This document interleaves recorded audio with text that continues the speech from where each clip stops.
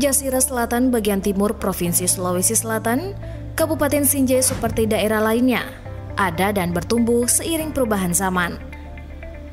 Kabupaten Sinjai terbagi dalam sembilan kecamatan, yakni Sinjai Utara, Sinjai Timur, Telu Limpoe, Sinjai Selatan, Sinjai Tengah, Bulu Podo, Sinjai Borong, Sinjai Barat, dan Pulau Sembilan.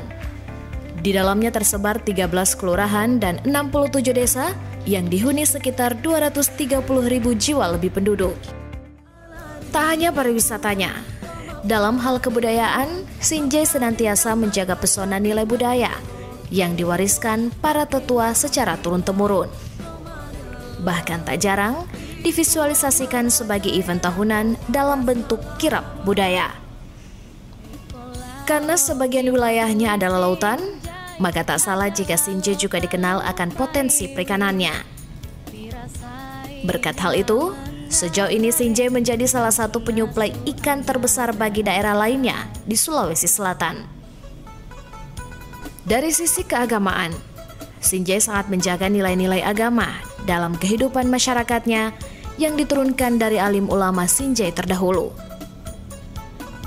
Mungkin atas dasar itulah, Sinjai hingga kini kerap dijuluki bumi Pandrita kita atau bumi kaum intelektual yang menjaga nilai dari kitab Al-Quran.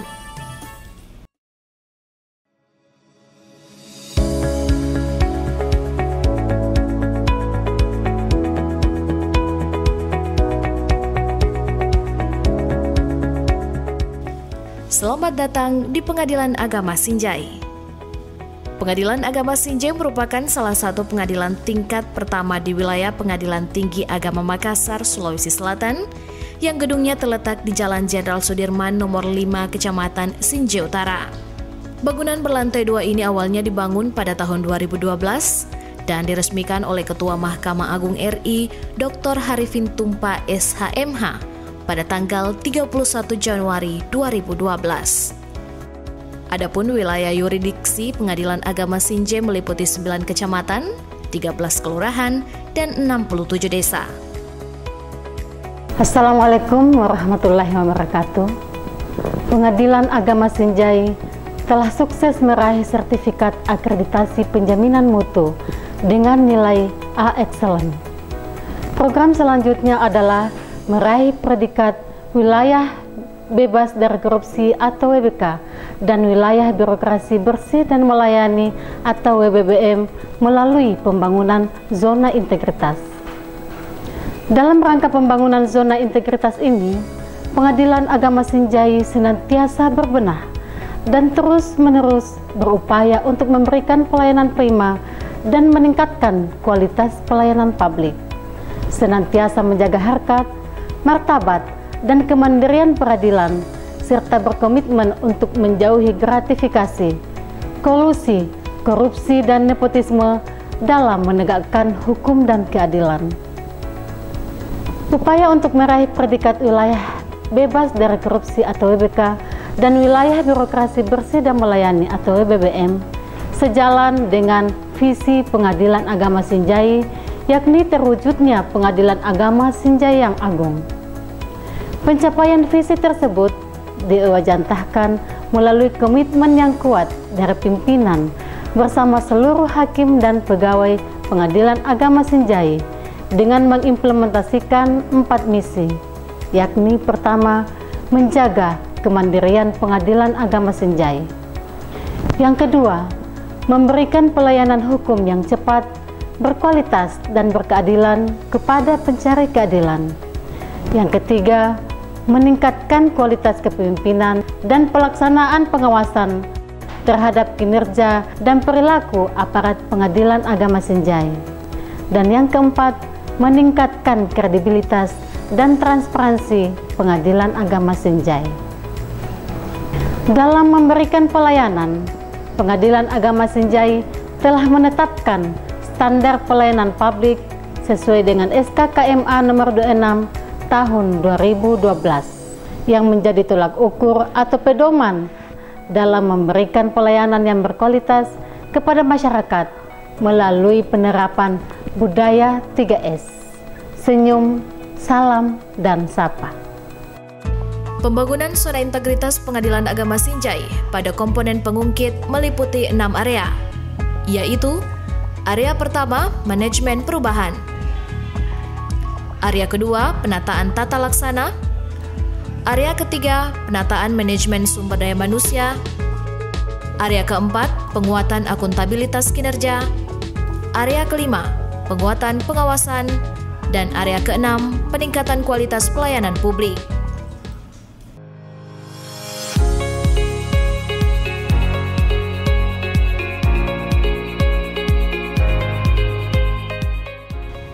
Dan seluruh pegawai pengadilan agama Sinjai bertekad memberikan pelayanan peradilan yang mandiri, profesional dan transparan menuju peradilan yang berwibawa dan bermartabat. Dengan mengutamakan kepuasan pencari keadilan, serta senantiasa melakukan perbaikan yang berkesinambungan melalui implementasi sistem manajemen mutu peradilan agama.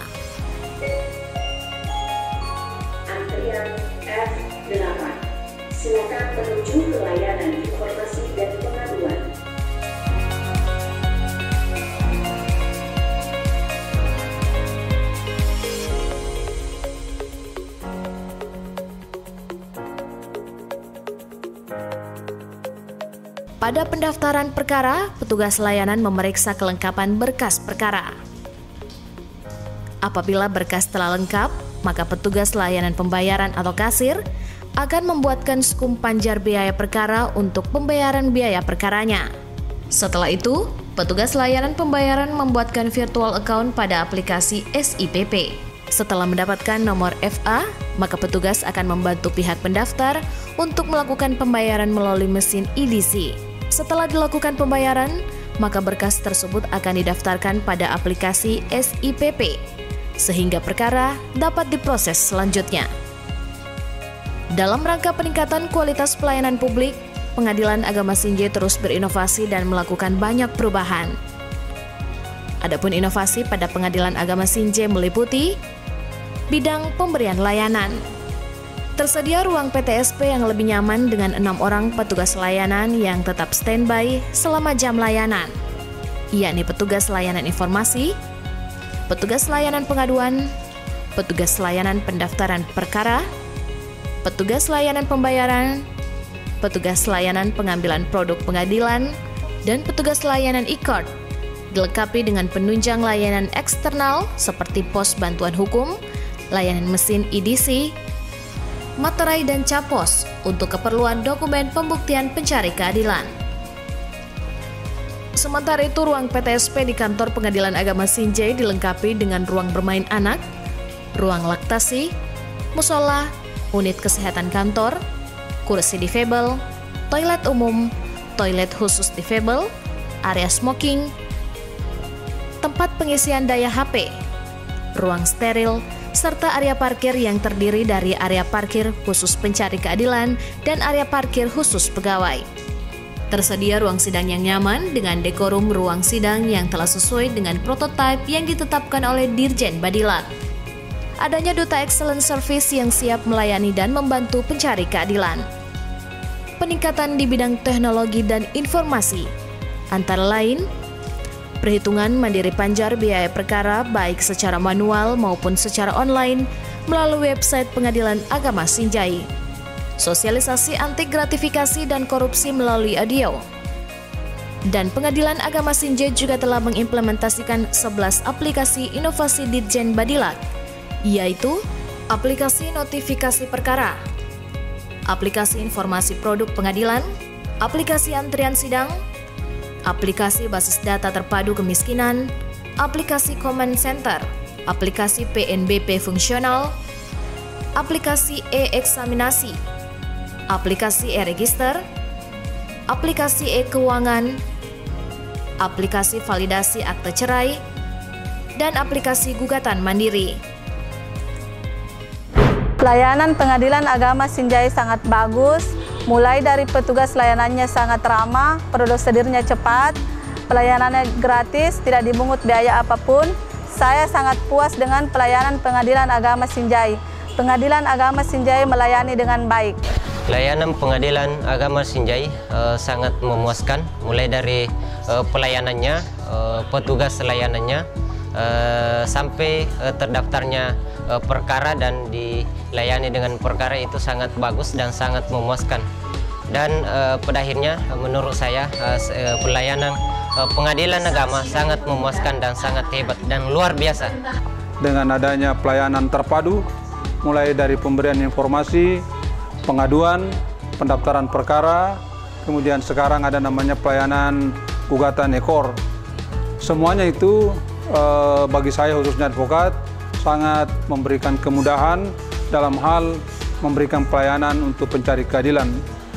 Yang kedua, bahwa sekarang eh, dahulunya kalau kita mengurus sesuatu hal di pengadilan agama, itu kita memasuki beberapa tahapan-tahapan. Sekarang kita tinggal pada satu pelayanan yang terpadu yang sangat memungkinkan bagi pencari keadilan untuk mendapatkan akses yang lebih bagus, lebih besar manfaatnya, dan saya kira lebih nyaman keadaannya.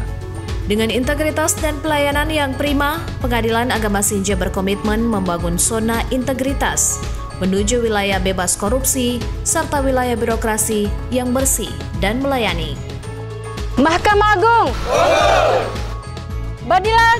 Jaya.